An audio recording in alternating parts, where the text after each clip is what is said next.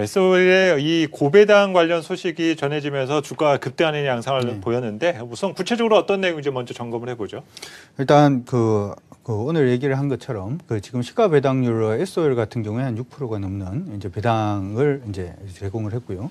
우선주 기준으로 보면 거의 한 10%에 육박하는. 그러니까 지금 은행 이자율이 1.5%인데 뭐 그런 부분을 생각을 해보자면 네. 굉장히 높죠. 그리고 뭐 한 번씩 광고도 나옵니다만은 오피스텔 수익률도 5%대인데 지금 오피스텔에 사는 것보다 SOL 가지고 있었던 게 더 수익률이 좋네, 좋네. 뭐 이런 식의 분위기인 것 같고요.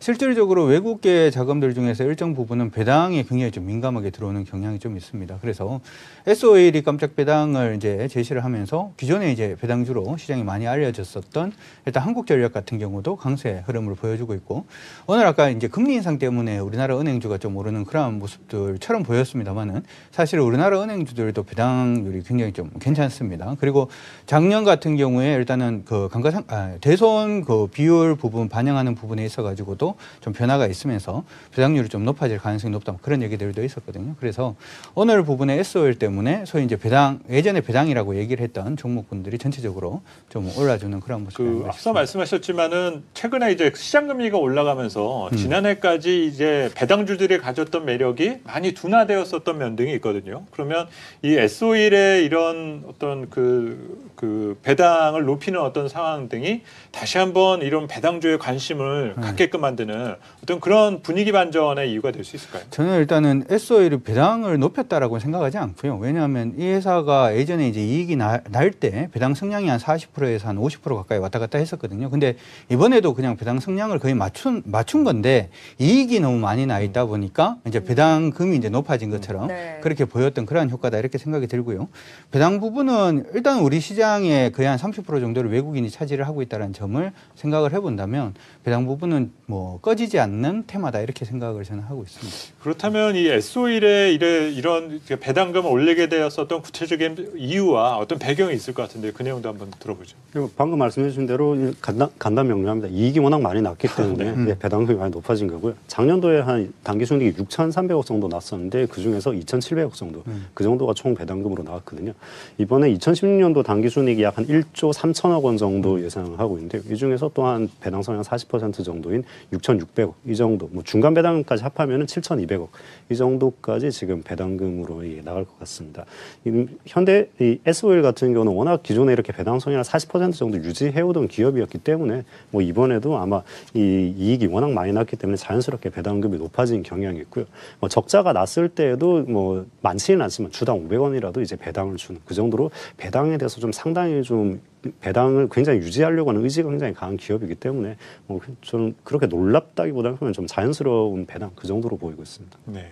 어, 대신 좀 흥미로운 부분은 이 정유 관련 정유사들의 어떤 실적이 과거에는 어떤 상품 가격이나 에너지 가격에 연동이 심하게 되었었다가 최근에는 사- 확실히 이제 그런 모습 등은 좀 줄어든 것 같아요. 그리고 어, 지난 주 후반에 이제 국제유가가 급락한 이후에 이제 조금씩 정유주를 봐야 될 때다라는 의견 등도 조금 많이 나온 것 같습니다. 이런 면에서 봤을 때 어떤 유가의 흐름과 조합한 어떤 S5일에 대한 매력 이것도 한번 판단해 볼 필요가 있을 것 같은데요. 어떻게 보면 이제 정유주 같은 경우에는 고유가가 계속 지속이 된다고 이익이 증가하는 건 아니죠. 그러니까 그렇죠. 어, 차라리 유가 자체가 저유가로 어느 정도 가다가 고유가로 가줘야 옛날에 그러니까 기름 필요한데라고 해서 전화해가지고 사우디에 전화해가지고 기름 보내줘 이런 건 아니지 않습니까? 그러니까 기름을 보통 가지고 오게 되면은 어, 최소한 뭐 1, 2, 어, 1, 2개월 혹은 한 분기 정도를 가지고 있다가 그 기름을 방출을 하는 거기 때문에 유가가 빠지게 됐다가 뭐 지금 유가가 계속해서 저유가다 뭐 계속해서 밀려서 20달러 뭐 10달러 이렇게 가는 그런 식으로 전망하는 데는 없지 않습니까? 그러면 어느 정도 유가가 이제 하락을 하다가 다시 반등을 하면 다시금 SOL의 실적이 좀 좋아질 가능성이 높다. 뭐 그런 식으로는 기대를 해볼 수 있을 것 같습니다. SO일뿐만 아니라 오늘 SK 이노베이션도 네. 같이 오르더라고요. 이것도 같이 배당 기대감이 나오고 있다라고 봐야 될까요?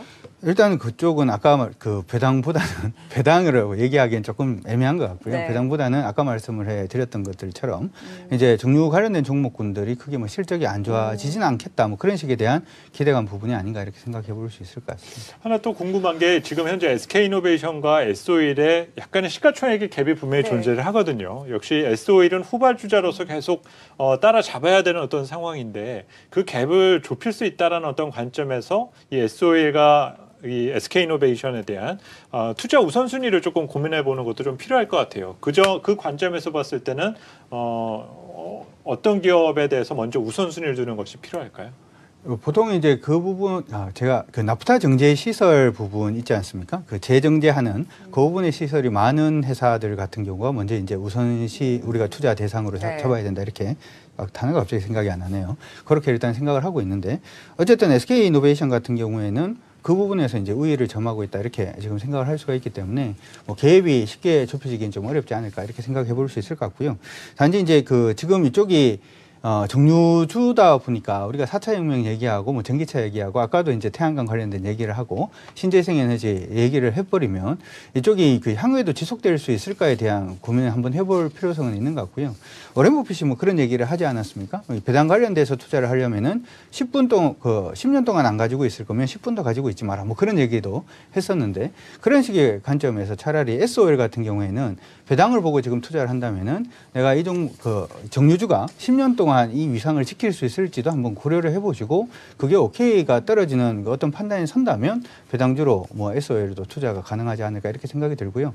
그런 부분이 아니라 단순히 정유주 투자라면 저는 SK 이노베이션을 1순위, 로 놓고 투자를 하는 게 맞지 않을까 싶습니다. 네. 사실 이 배당 성향이 높은 기업들에 대한 관심은 연말에 투자를 할 것이 아니라 연초나 여름 전까지 네. 어, 투자자들이 관심을 가져야 된다라고 하지 않습니까?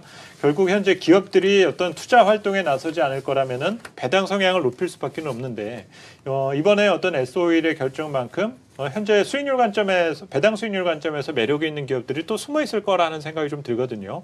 어, 그런 기업을 조금 추려 보신다면 어떤 종목들이 있을까요? 네, 저 같은 경우는 뭐 배당 성향 자체가 높은 기업보다는 그동안 배당, 이 회사 사정 때문에 배당을 계속해서 해오지 못하다가 회사 사정이 조금 나아지면서 배당을 막 시작한 현대 엘리베이터에 주목을 하고 있습니다. 현대 엘리베이터 같은 경우는 사실 그동안 이 현대상선 관련된 뭐 비용 같은 것도 일회성으로 많이 처리를 해야 되고 해가지고 이 몇 년 동안 계속해서 좀 현금 흐름이 그렇게 좋지 못한 상황이었는데요.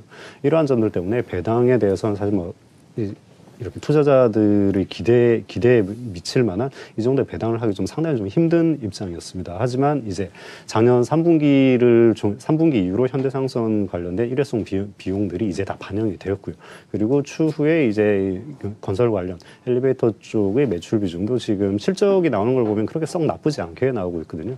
이러한 점들을 바탕으로 이제 올해 5년 만에 배당을 실시를 한다고 하는데 많지는 않습니다. 주당 500원이니까 뭐 그렇게 투자자 입장에서는 썩 만족할 만한 배당은 아니라고는 할 수 있겠습니다만 하지만 5년 만에 5년 동안의 회사 사정 때문에 멈춰져 있던 배당이 이번에 실시가 되었다는 점 이러한 점들이 저는 상당히 좀 의미 있게 보여지고 있습니다. 저는 회사보다는 시가 배당률에 조금 더 주목을 하시는 게 좋을 것 같은데 아까 이제 말씀을 해주셨을 때 여름 정도 뭐 이렇게 또 말씀을 해주셨잖아요. 근데 배당 자체가 일정 부분은 좀 그 지켜져 있는 선이 있기 때문에 주가가 좀 많이 떨어지면 배당 수익률이 굉장히 좀 높아지기 때문에 그렇죠.